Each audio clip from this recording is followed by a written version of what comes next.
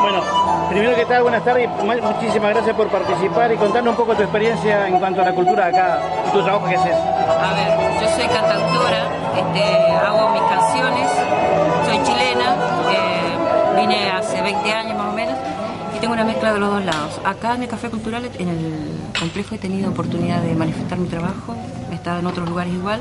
Ahora, en esta época está muy, digamos, eh, aparentemente no hay mucha actividad cultural. Eh, espero que los lugares que tienen esta hermosa indumentaria como el complejo este, tenga avidez de artistas, porque acá hay mucho talento en Río Gallegos, en toda la provincia de Santa Cruz, incluso también, quizás también es- creo que se han hecho encuentros con eh, Punta Arenas. Y nacionales, encuentros y nacionales, claro, así que se han bueno, cortado últimamente, claro. pero...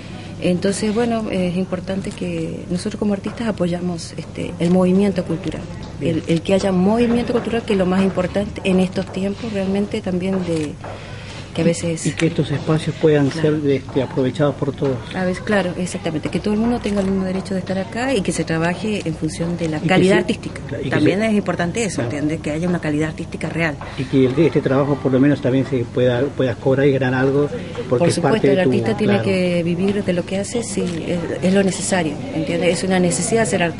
El artista es un necesitado, realmente. Somos necesitados de, de- de hacer arte y de que la gente nos escuche y bueno, hay gente